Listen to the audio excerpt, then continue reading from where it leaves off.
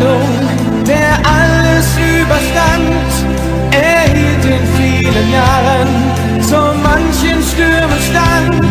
Ein Fels in wilder Brandung ist unser FCN. Sein Stern, er wird für immer am Fußballhimmel stehen.